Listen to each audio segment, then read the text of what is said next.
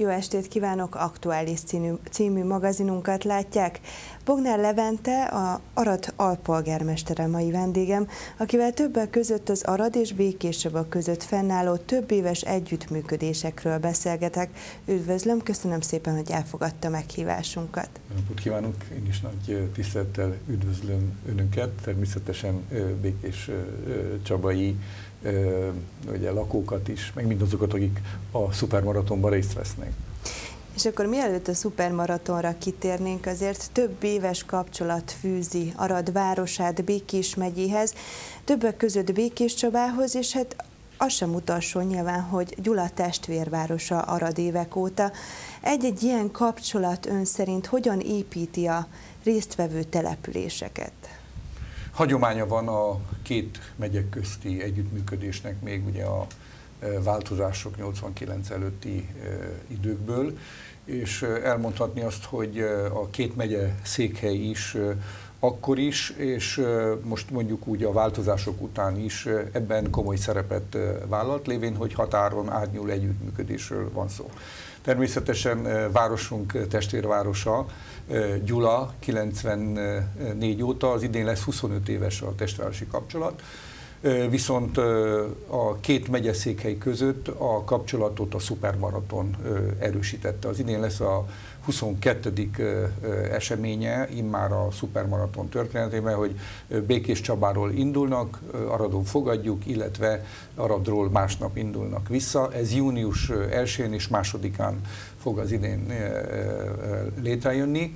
Lévén, hogy 26-án európarlamenti választások vannak, ezért ugye június 1-ére annak idején már a múlt év végén egy ilyen döntés született, hogy akkora essen a szupermaraton és ebben nagyon sokan részt vesznek. És mondhatjuk úgy, hogy a szupermaraton esemény, ez egy határon átnyúló, azt hiszem, hogy egyedülálló a román-magyar határon, egy olyan sportesemény, amely gyakorlatilag két napig tart, és kb.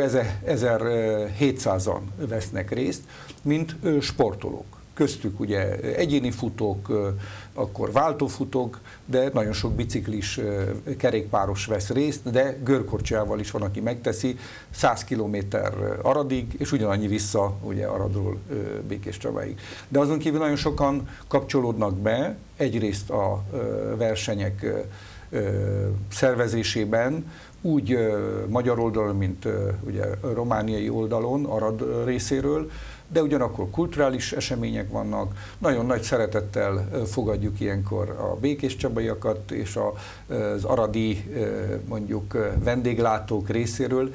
Igyekszünk mindig egy tartalmas és egy jó hangulatú programot is lebonyolítani, mint ahogy ez hasonlóképpen történik Békés Csabán is, amikor a befutás van a verseny vége, illetve a díjazások itt a városban. A verseny története 20, tehát 22. alkalommal rendezik. Nyilván azt mutatja, hogy nagyon jól tudnak együtt működni mind a két város részéről a szervezők. Ezt hogyan tudják kivitelezni, hiszen mégiscsak van néhány kilométer a két település között. Nagyon fontos ebben azok, akik a verseny szervezését felvállalták.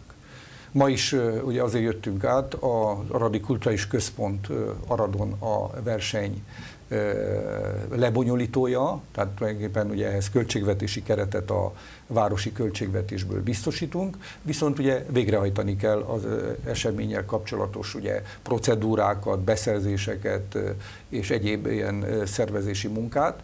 Ugyanakkor persze a szervezék között sportemberek is vannak, Aradon, itt ugye egyrészt a Mészár Sándornak van nagy rutinja, és számítunk az idén is rá, de próbáljuk bevonni az Aradi Atlétikai Szövetséget is, de hát ugye Békés Csabának sokkal jobb helyzete van, mert itt a szervezők, akik annak idején elindították ezt a mondjuk immár hagyományos sport, határon átnyúló sporteseményt.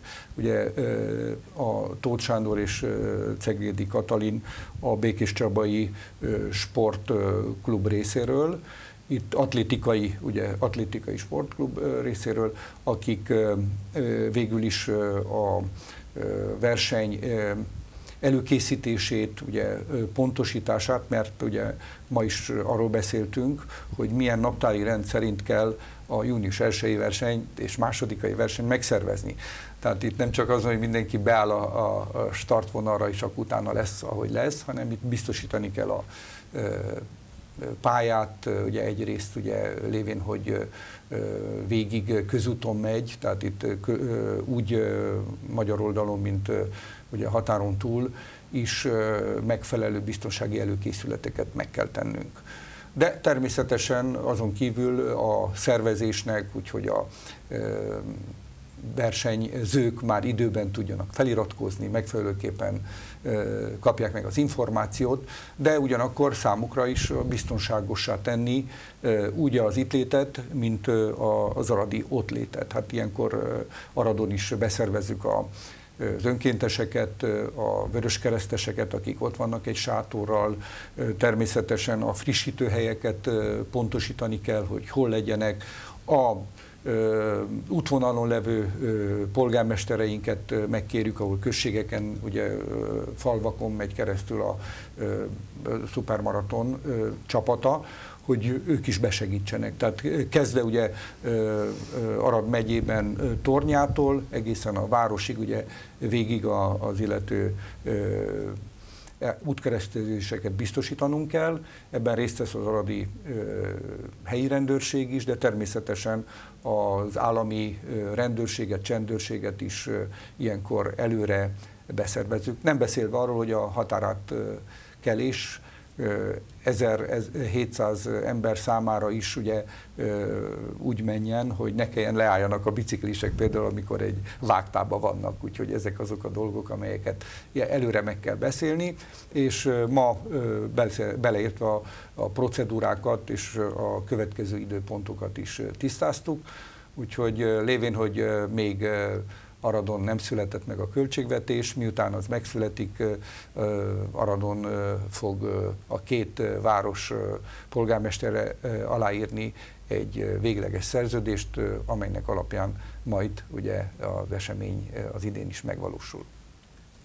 Ezeknek a tapasztalatcseréknek, egyeztetéseknek köszönhetően gyakorlatilag lehet azt mondani, hogy barátságok és nem csak a sport tekintetében, hanem egyéb területen is szakmai kapcsolatok alakultak ki Békés Csaba és Arad vonatkozásában? Mindenképpen itt ugye egyrészt szakmai, másrészt baráti kapcsolatok jöttek létre, de mindig igyekeztünk ezt egy kicsit tágítani, tehát nem csupán ugye a sportra koncentrálni. Ez ugye az ötlet az volt, hogy a határon átkelő sportesemény nyitottabbá és ugye közelebbé tegye a határmenti térséget. Tudjuk azt, hogy egy nagyon nehéz periódus volt a kommunizmusban, amikor a határ szinte azt mondani, hogy ilyen átjárhatatlan volt.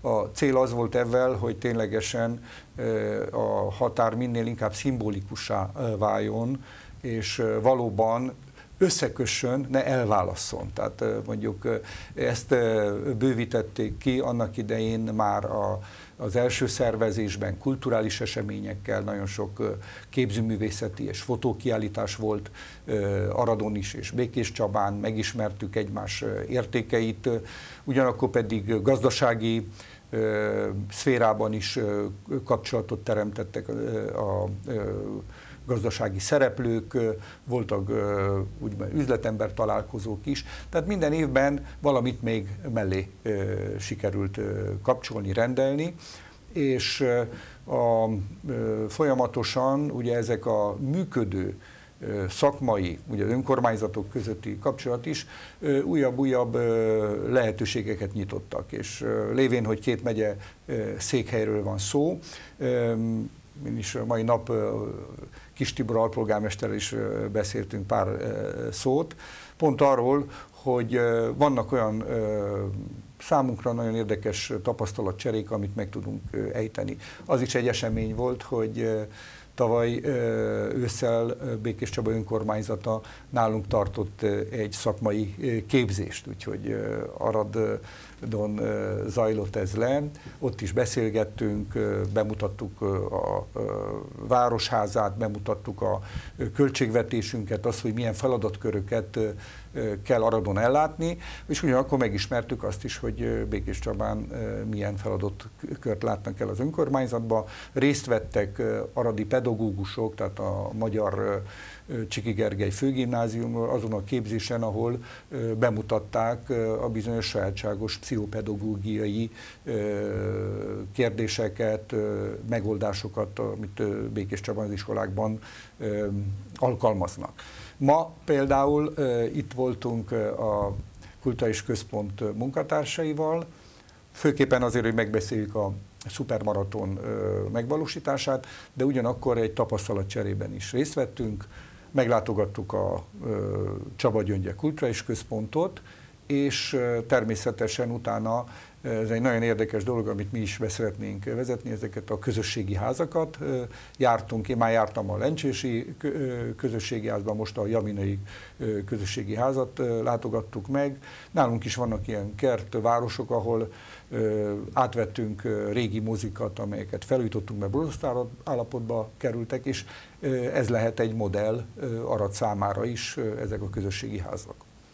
Emellett, ahogy említette, hogy vannak bizonyos tapasztalatok, amelyeket adott esetben alkalmazni tudnak, például önök is Aradon Békés Csaba mintájára. Vannak egyéb elképzelések, együttműködések terén is? Ha igen, igen van... akkor milyen területen, bocsánat? Igen, köszönöm szépen a kérdést. Hát még két területet szeretnék említeni. Az egyik a, a Békés Csabai TV, ugye, ugye itt vagyunk, és ez is már egy kommunikáció a Békés Csabai lakosai felé, de ugyanúgy ezt szeretnénk Arad felé is, és akkor például talán ki lehetne az idén próbálni, hogy a szupermaraton eseményeit közvetlenül közvetítsék, ugye Aradról az Aradi tévések, és a Békés Csabáról a Békés Csabai televízió. Így egy ilyen média hidat lehetne a két város között elképzelni a továbbiakban, ahol természetesen nem csak a szupermaraton eseményei, de más közérde, közérdekű események hírformájában eljuthatnak a lakossághoz. Ilyen esemény lesz például Aradon a Békéstáji Művészeti Társaság kiállítása, az idén novemberben, amelyik egy hónapig fog Aradon az Aradi Képzőművészeti Múzeumban lenni, és ugye erre is természetesen, ha megfelelően felkészülnek a lakosságot, beszervezzük, mindenképpen a kulturális kapcsolatokat tudjuk erősíteni. Ugye az Egyesület, vagyis a társaságnak az élénk Dant Jánoson, aki szintén aradi mondjuk kapcsolatokkal rendelkezik lévén, hogy aradi származás. Úgyhogy be kell azonosítsuk azokat az együttműködési síkokat, ahol a továbbiakban is bővíteni tudjuk a két megyeszékhely közötti együttműködést. Esetleg a későbbiekben terveznek például közös pályázatokat, vagy közös programokat, nyilván amellett, hogy kulturálisan együttműködnek az intézmények, szervezetek? Amennyiben azt ugye tudjuk, hogy a határon átnyúló pályázat ugye volt Húró, most Róhú névvel fut, hogyha nem is közvetlen az önkormányzatok, de ebben nagyon nagy szerepet vállaltak a kereskedelmi és iparkamara, ugye úgy Békés megyéből, mint Arad megyéből, tehát ők is egy komoly kapcsolatot ápolnak, aradi kiállításokon, expókon részt vesznek a Békés Csabai Kereskedelmi Kamara szervezésében Békés megyei termelők, és nem csak. Ezekre gondolok, itt elsősorban mezőgazdasági nagyon sikeres bemutatkozók szoktak történni. Hát egyértelműen, hogy a kereskedelmi kapcsolatok azok működnek, anélkül, hogy az önkormányzat ugye ebben feladatot vállalna, de nekünk a feladatunk az, hogy keretet teremtsünk, ahhoz, hogy ebben minél több síkon és kapcsolati rendszerbe be tudjanak kapcsolódni városaink lakósai. Nagyon szépen köszönöm, hogy elfogadta meghívásunkat. Én is köszönöm szépen. Ez volt az aktuális, holnap ugyanebben az időpontban jelentkezünk magazinunkkal. Köszönjük figyelmüket, viszontlátásra!